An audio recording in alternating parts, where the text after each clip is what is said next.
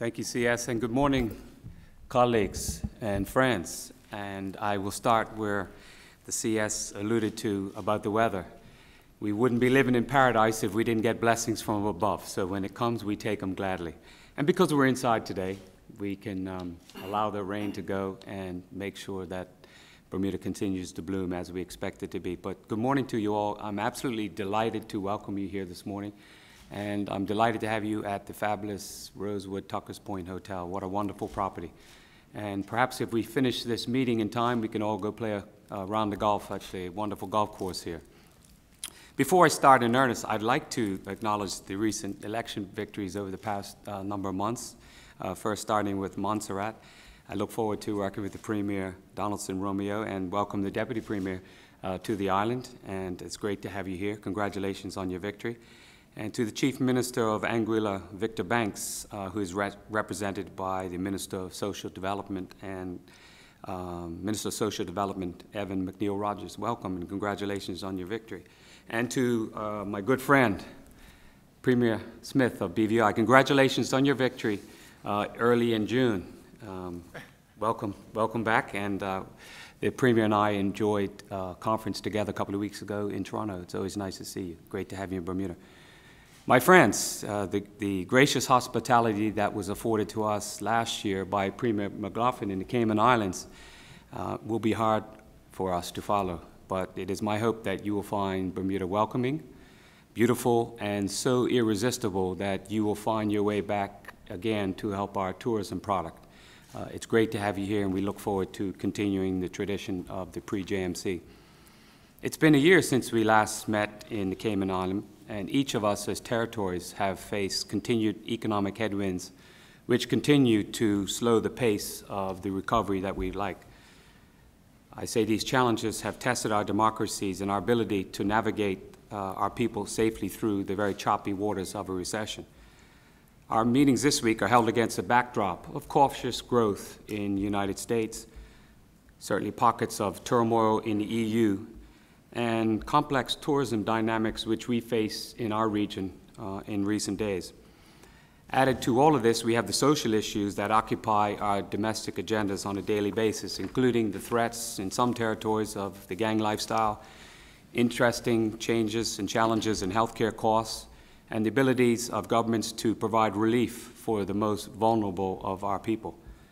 However, friends, I would like to suggest that there is cause for much hope within the territories. Each of us, in our own ways, continues to punch well above our weight on the international level. And this is something which we are all justifiably proud of and something that we must continue to do if we're going to survive and take care of our people's needs. Irrespective of our diverse economic interests, we have to keep in mind that there is strength in unity. That unity is increasingly important in our relationship with the UK government. Recently strengthened by a clear majority in Parliament, Prime Minister Cameron is at liberty to examine policies afresh, and so it is vitally important for us to be in harmony on the issues that affect us as territories. This is particularly so in regards to the issue of beneficial ownership in regards to Bermuda, we have and will continue to make a strong case for our compliance with international best practice and ensure sound regulation as an offshore business jurisdiction.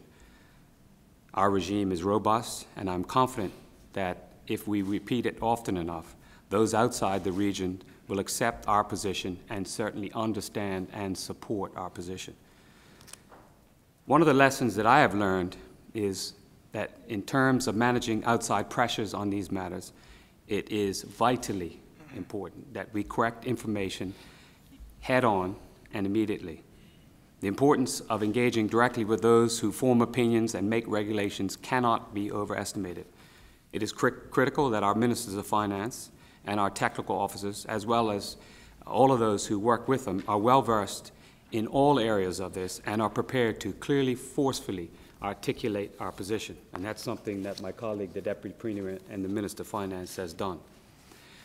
These matters of international scope are but one facet of the work that we do as leaders of our overseas territories. At home, we are faced with a domestic agenda that certainly demands our equal attention. The expectations of our people have been disappointed by the challenges, in some cases, of unemployment and inadequate revenue. The task, as you, all well know and experience, is very difficult. We cannot simply balance budgets through redundancies or cost cutting without regard to the impact. The people affected by either of these actions has nowhere else to go. They can't go to the next state, the next county, or the next district. So we have to find creative ways to reduce spending and balance budgets while at the same time restoring growth to our economies. These economic and fiscal challenges also have social consequences. And we all know how hard it is to build morale in a place or period where there is little or no economic growth. But our task as leaders is to remain committed to policies that we believe will achieve growth while inspiring our people to play their part and do all we can to support them and support those citizens in need. Now, a couple of moments ago, I spoke of the need for unity. I believe it is a theme which bears repeating again.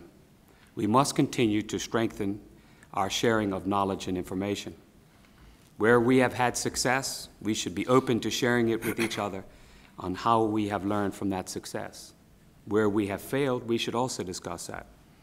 Issues of security, healthcare, domestic policy, all of these areas, we have a wealth of information, and we should share it with our colleagues. After all, we are only an email or a phone call away.